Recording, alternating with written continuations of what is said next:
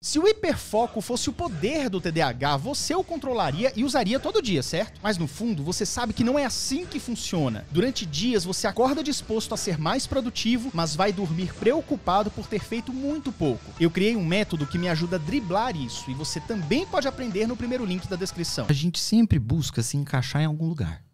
Como se. Eu, te, uma, eu não sei se você recebe muito essa pergunta, eu recebo. Qual é a profissão ideal para o TDAH? Sim, diário. Qual é a profissão ideal? Porque eu não estou me achando em nenhuma, já tentei um bocado, nada funciona, me sinto um bosta em todas. Então, qual que é a, qual é a ideal para o TDAH? Ontem eu recebi na mentoria. Eu ouvi falar que a musculação ela é a atividade física que traz mais dopamina. Isso então quer dizer que a musculação é a atividade ideal para o TDAH? Aí eu virei para ela e falei, não. E eu falei categoricamente não. Ela falou, então qual é a atividade ideal para o TDAH?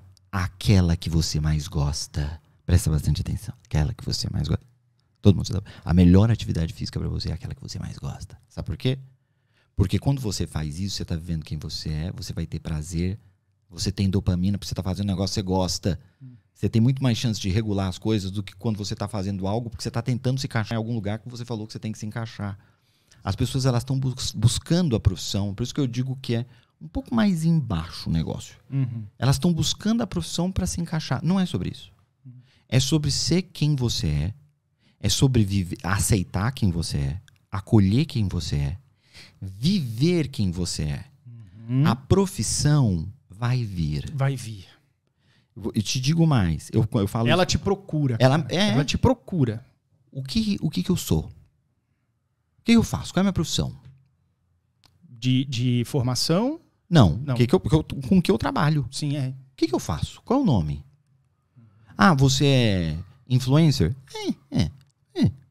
Tá na Não, conta. não tá é- Na, tá na lida. Tá ali no limbo, coisa. mas assim, é. não é o foco. Não é o foco. Não é o foco.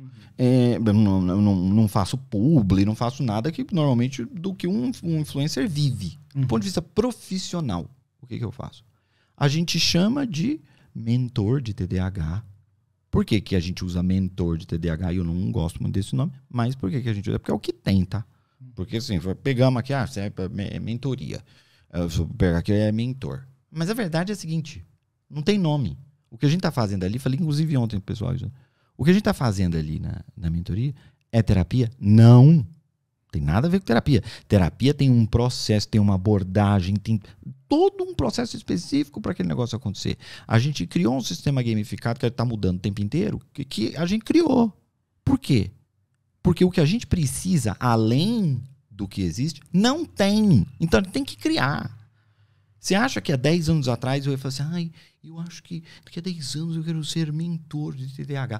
Isso não existe. Não tem clareza, Não tem- cara. eu fui fazendo o que o meu coração mandava, o que eu achava que tinha a ver comigo. É o próximo passo. Tudo o que eu fiz na minha vida me trouxe até aqui. Tudo. Hoje eu faço o que eu faço, como eu faço, da maneira que eu faço. Porque eu sou o resultado de uma série de escolhas que eu fiz. Tem um, uma- um discurso do Steve Jobs, eu não sei se você já viu, que ele faz para uma turma que está se formando da Universidade ah, de já. Stanford. Aquela fa- é de 2007, eu acho. 6 ou 7. É. Então, para o pessoal que está assistindo aí, depois que acabar o podcast, só vocês vão ver, tá? Não vão sair agora correndo, vai abrir outra aba. Não aguenta aí. Inferno. É, Abrir outra aba. Foca. é. O que acontece? Ele fala dos pontos. Que quando ele tava, quando ele entrou na faculdade de engenharia, que tinha aquelas coisas, ele queria ter aula de caligrafia. Por quê? Porque ele queria. Ele queria entender como é que faziam as formadas letras, porque achava bonito. Tinha uma explicação racional para isso? Não, ele gostava, era só isso. E aí, depois ele foi fazer outra coisa, o que, que aconteceu? Ele saiu da faculdade.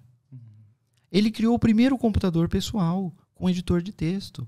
Foi ele que fez as fontes. E ele fala assim: eu criei as fontes. E sabe como que eu consegui criar as fontes? Porque eu tinha feito lá na faculdade, quando entrei no college, eu tinha feito um curso de caligrafia que ninguém entendia, nem eu por que, que eu fiz. Mas quando eu descobri para que, que aquilo servia, eu estava construindo uma coisa que eu jamais imaginei que eu fosse fazer. Por quê? Porque em algum momento os pontos vão se unir e você vai enxergar alguma coisa. Agora, esses pontos, eles precisam se unir por conta do que você quer, de quem você é. E de agir. Sabe, sem dúvida. Entrar em ação.